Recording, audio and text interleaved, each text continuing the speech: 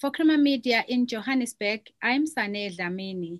Joining me today is a Johannesburg based development economist, columnist, radio presenter, photographer, and activist Ayabonga Cawe to discuss his book titled The Economy on Your Doorstep the political economy that explains why South African economy misfires and what to do about it.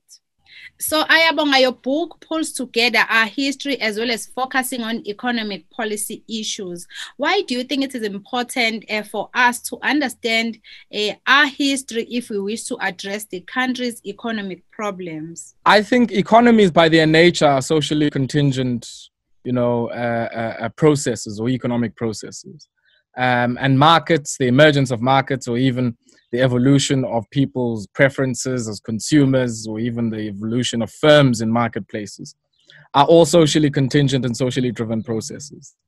And you can't understand social processes or even social change without a keen understanding of history. And so, for me, a big part of my own practice as an economist is about taking a multidisciplinary approach to try and understand very, very complex economic reality that is that can't, in my view, just be understood through uh, analyses, both qualitatively and quantitatively, that think of economies as things that sit outside of social processes of social change and evolutionary change.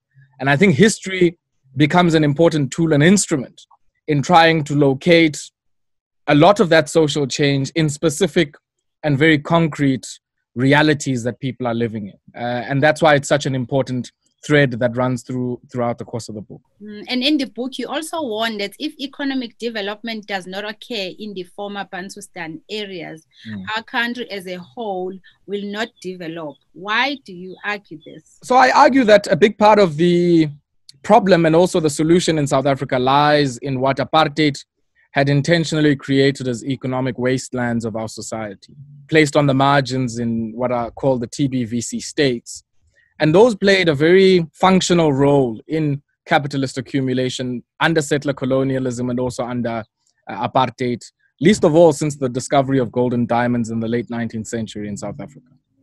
And I argue that even in the post apartheid period, you find the worst development indicators and outcomes in those places. So if you go to a province like the Eastern Cape, where I come from, all of the places that have the worst outcomes in terms of service coverage, in terms of economic indicators, in terms of stunting of children uh, before they reach, you know, even school going age, all happen to be in the places that used to be in the former Transkei and the Ciskei. And so, in a sense, when you speak about development in South Africa, you can't speak of that outside of the concrete socio-economic reality of the former homelands. And that's why I dedicate a significant space in the book trying to understand the household in the homelands, trying to understand the firms that at some stage in our history have emerged in the homelands. And more importantly, being able to try and locate that in the potential and the possibilities uh, and the abundant potential that already exists in many of these places, uh, which we haven't tapped into in very, very meaningful ways. And so, so in a sense, I argue that a big part of the development challenge of South Africa is confronting and overcoming that native reserve. And its manifestations not only in the homelands, but also in the margins of the urban uh, periphery. So you can't separate, for instance, uh, the issues of the Transkei and the Ciskei from the socio-economic conditions of the margins of Cape Town, for instance, because that is a major migrant route for many people in the places that I come from.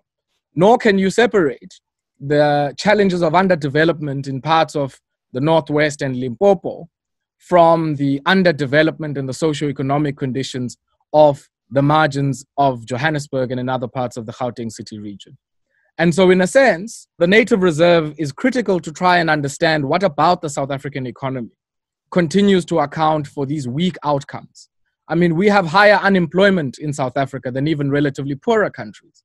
You know, there are countries who perform better on unemployment indicators uh, than South Africa that don't have the depth, diversity of industrialization that we have in this country. Now, what does that suggest? What it suggests is that the historic processes of accumulation by dispossession, so dispossessing people in those areas, of the ability to survive outside of wage employment, has had implications for the current moment and even our future and our ability to get people to participate in the economy.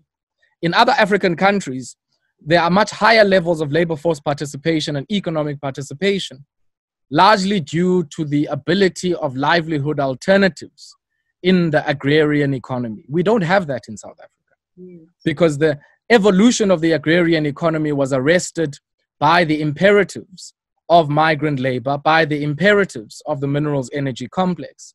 And so, if you go to where I come from, is you know, in Lady Frere, in the Emalahleni district in the Eastern Cape, people might be on land, but the big question around the productive potential or the productivity of that land um, is largely a difficult issue because even your household human resource structure is one of very young people and very, very old people. All of us are in the city. Uh, and we join an intergenerational relay of people who, at a certain age, uh, at a certain productive age, where we are joining the workforce between the ages of 15 and 64, your entire workforce of those places is not in those places. So even if you wanted to produce anything, you don't have labor. Uh, and that's the starting point. And I think a big part of uh, the challenge of unemployment in the urban centers has a lot to do with the decimation of the productive capability of the rural areas in South Africa. And so your solution is, has to be around the restoration of agrarian and productive activity that not only is in agriculture, but in all of the related value chains uh, that would make for vibrant livelihood opportunities in the villages and in the townships of the former TBVC states. You also seem to have a strong sense that local economic development is also key if we wish to improve uh, economic performance. Can you please explain this insight? All of the things that I've said are not possible if you don't have what I call developmental local government. A lot of people speak about local economic development and the role that you know state agencies and uh, municipalities can play in fostering certain types of economic activity at a municipal level. I take a, a, slightly different but still micro type of interpretation of what I think is the role of local uh, municipalities. I think, and it's on two fronts. The first one is municipalities, by their nature, provide critical inputs to what I call in the book economic production and social reproductive activities. Now, economic production is what happens in firms, is what happens, you know, in the broader economy, anything from a hairdresser to a factory. Those people are engaged in production for exchange. So they produce things in exchange for money.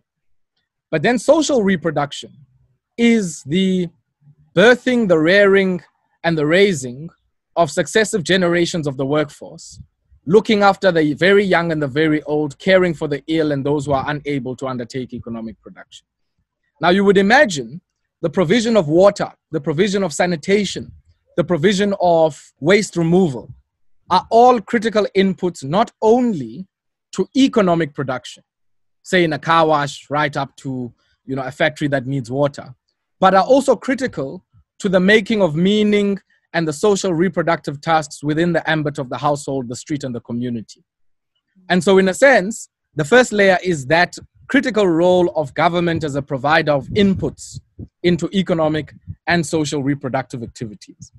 The second layer, of course, is what I argue even local government should be in our society, which is this idea of government as a taker of the risks in the first instance, but also as a market maker by serving as a buyer of last resort for people who want to produce things.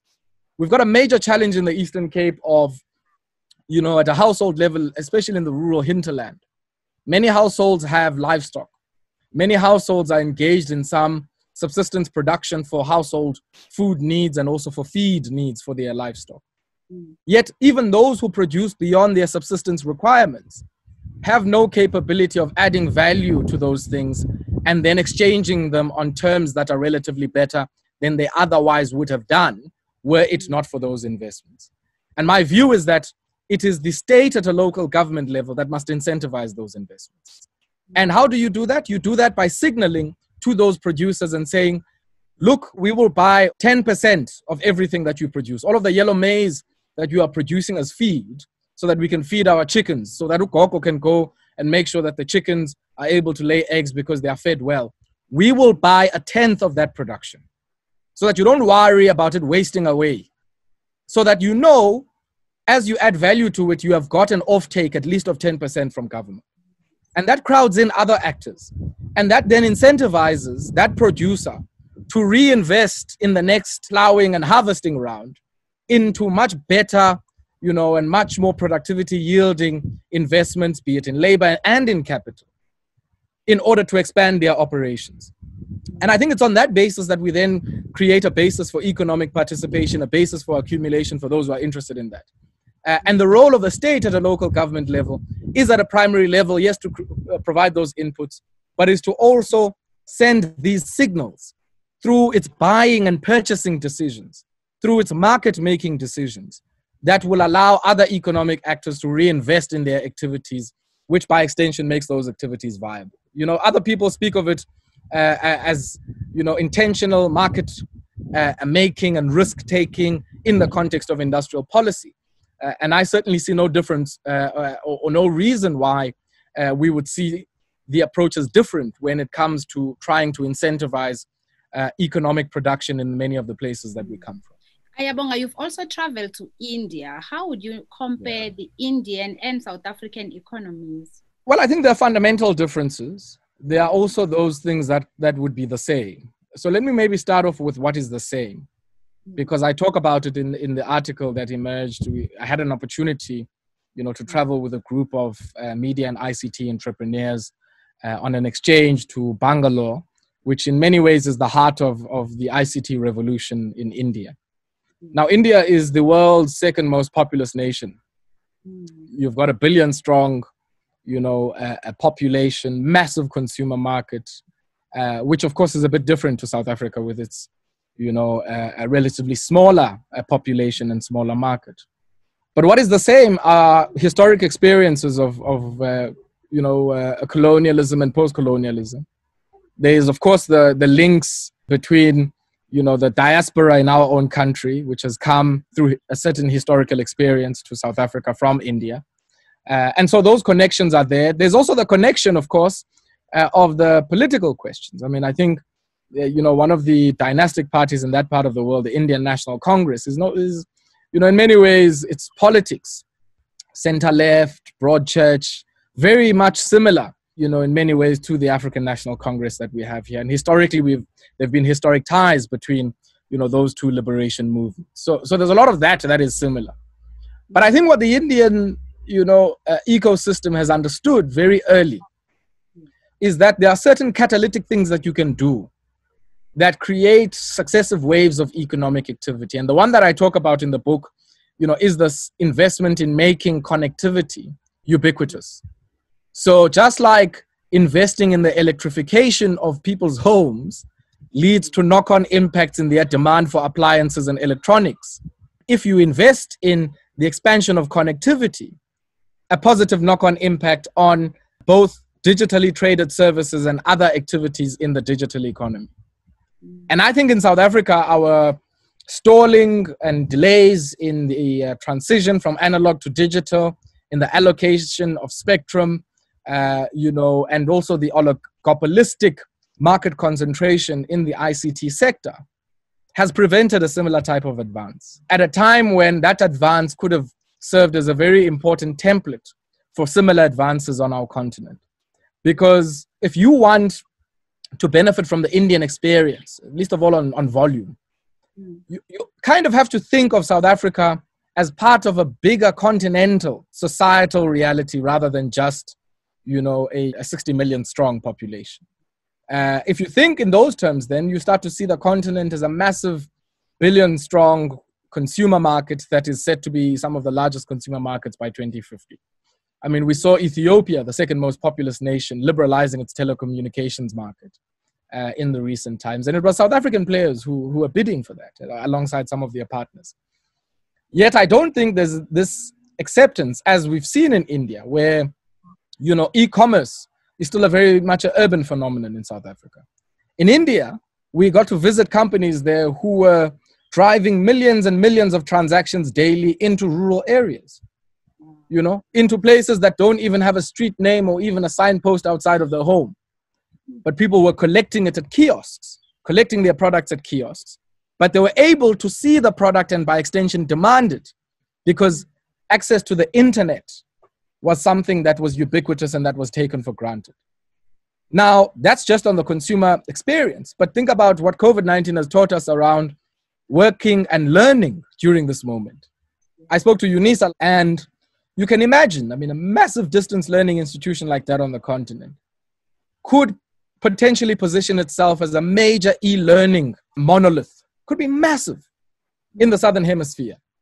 Yet, but because we haven't resolved the internet issues for that lady who is in Mqanduli working uh, and also studying part time, mm. that has then prevented the ability of UNISA, you know, to go into different arena on the basis of what they can offer by way of remote and distance learning uh, on an internet platform. Um, and that's why, you know, you still have a, a, UNISA that in some cases is still reliant on sending, you know, uh, study material via the post office. Mm. Um, and so you can imagine there's all of these different potential value chains that could benefit from that. I mean, you know, it's sad that the post office, with its reach, uh, has not gone into the e-commerce space as much as some of the other courier players have done. Uh, and I think these are the things that, once you sort out the internet as your enabler, have second, third, fourth, fifth round effects and knockovers and positive spillovers into other economic activities. And I think you know, the more and more we delay the decisions around the allocation of spectrum, uh, the more the, you know, the higher the opportunity cost of what, uh, uh, whatever value we're leaving on the table. And lastly, Ayabonga, given the current economic problems in our country, as you've just mentioned a few, what solutions uh, do you recommend in your book? So I think the book, in many ways, I mean, even though it has tried to to really be a descriptive analysis of the economy around us, uh, has also tried to touch on some things that we could potentially do. And I think there's three things really that emerge from the Eastern Cape chapter, which are quite relevant for the broader national policy conversation. I think the first one is we have to make sure that we are able to secure, in a context of rapid deindustrialization, COVID 19, uh, and massive challenges within the household, is to secure the consumption basket, in particular, of poor households. Mm. And of course, this requires progressive improvement in our existing grants framework and the introduction of new social wage interventions that'll be able to cushion poor households from the impacts of multiple crises that are being visited on their homes. And these crises are not only crises of retrenchments and layoffs due to deindustrialization, but the fact that many parts of the producing, you know, in the subsistence sense, parts of our country have been subject over the last decade to a drought, which is an ecological manifestation of the crisis. Uh, and that has had implications on the ability of homes to be able to produce food for their own needs and for the needs of others. And so, in a sense, any growth plan that will be credible in South Africa and that will be seen as credible has to respond to how do you protect the consumption baskets of the poorest households in the society. I think the second one is this issue around infrastructure. And we can see in many of the municipalities and even across you know, our national network industries, that there's a need for a massive re-injection of capital spending into the maintenance, repair, and even the provisioning of new infrastructure. And we need to corner the value chains that are critical to that cement, steel, and I think we've started to do that uh, uh as a country, interestingly, now. And I call that in the book securing the home. Uh, and it might even be the securing of the firm and even securing the public goods broadly. Um, but I think for me, the knock on impacts of those types of investment in the immediate through construction jobs, through upstream impact on steel, cement, and other value chains, and even timber is a critical input. But I think even for future economic activity, uh, creates enabling environment for that. Then I think the last one is to secure what I call critical transitions. You've touched on the digital one, so I'm not going to belabor that one. But I think the other one is this energy transition that we are undertaking now. And how do we make sure that in that transition, we are able to equip our people to access whatever economic opportunities might arise from that? It might be, as I make the example in the book, the case of securing component manufacturing for wind technology in the Eastern Cape because we know over a third of the wind investments in the REIPP have come through from the Eastern Cape. It might be, as Eskom has said, capacitating our TVET colleges to run a massive skilling program around the repair installation of microgrids in the solar PV value chain.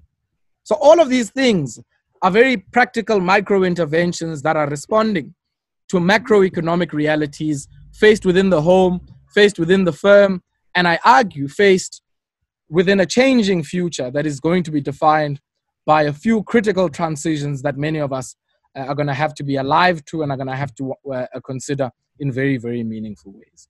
I think if we can be able to do those three things, then in a way we position South Africa over the next few decades for a path towards much greater, not only competitiveness, economic inclusion, but also will be able to resolve questions around the division of wealth in the society and what Fanon also says are the attendant social relations that arise from an uneven division of the wealth in the society.